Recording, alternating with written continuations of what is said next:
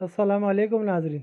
News पर जाने से पहले आपसे गुजारिश है कि अगर आप मेरे चैनल पर नए हैं तो आप मेरे चैनल को सब्सक्राइब कर लें, ताकि आइंदा मज़ीद नई वीडियो आप तक पहुँच सके।